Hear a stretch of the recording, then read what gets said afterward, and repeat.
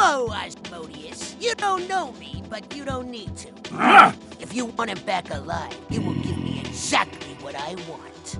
Do you have any idea who you are fucking with? I think it's a recording. You probably just asked if I know who I'm dealing with. And oh yes, I know. The weakest and most non-threatening of the shit.